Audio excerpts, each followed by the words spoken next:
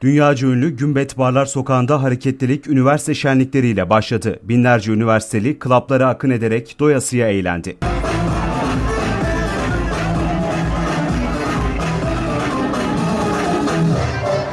Sokakta faaliyet gösteren ünlü eğlence mekanı Paşa Club'ın sezon açılışında üniversite öğrencileri de eğlence mekanına akın etti. Beşiktaş'ın efsane futbolcusu Pascal Numan'ın da sahne aldığı eğlence mekanında izdiham yaşandı. 4 Mayıs'la 30 Mayıs arasında 30 bin üniversite öğrencisinin şenlikler kapsamında Bodrum'a geleceği açıklanırken ilk öğrenci kafilesi ise dün ilçeye geldi. Yaklaşık 10 bin öğrencinin geldiği ilçede hareketlilik yaşandı.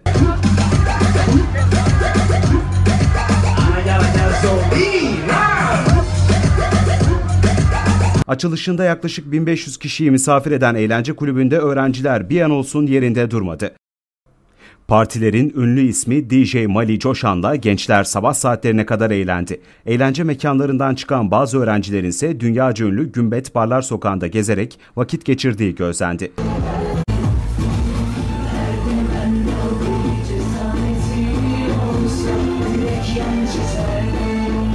Club işletmecisi Levent Akbulut yaz boyunca birçok ünlü ismi ağırlayacaklarını belirterek bu yaz çok umutluyuz. Sezon çok iyi geçecek. Biz bugün kulübümüzün açılışını yaptık. Çok güzel bir açılış oldu. Yaz boyunca eğlence sektöründeki yerimizi alarak çok iyi bir sezon geçeceğini düşünüyoruz inşallah dedi.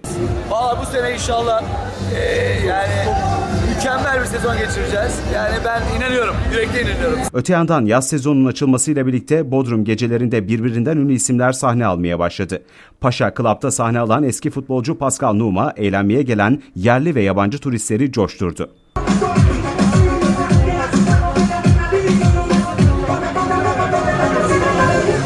Numa yaptığı dans şovları ve canlı performansıyla eğlenmeye gelenlere doyasıya bir gece yaşattı. Yaklaşık 3 saat boyunca sahnede kalan Numa, yaz boyunca Bodrum'da olacağını belirterek Bodrum'un çok güzel olduğunu söyledi. Numa, gazetecilerin futbolun mu yoksa DJ'lik mi zor olduğu yönündeki sorusuna iki tane Pascal var. Şimdiki Pascal'ı konuşuyoruz ama eski Pascal'ı konuşmuyoruz. Akşama kadar futbol, gece ise DJ Pascal var. DJ'lik biraz zor ama çok iyi ve eğlenceli şeklinde cevap verdi.